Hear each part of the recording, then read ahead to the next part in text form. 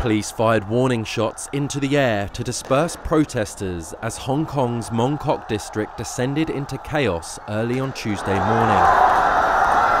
Activists set fire to objects, hurled bricks, and pelted police officers with bottles and pieces of trash.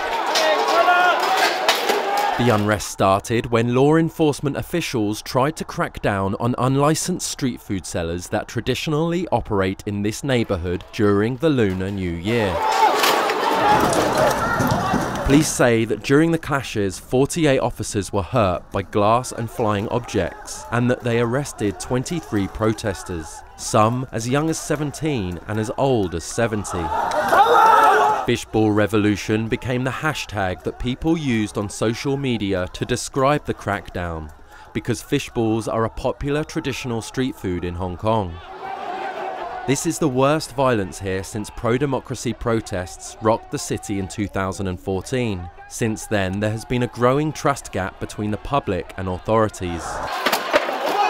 These latest scuffles underline how these tensions remain unresolved.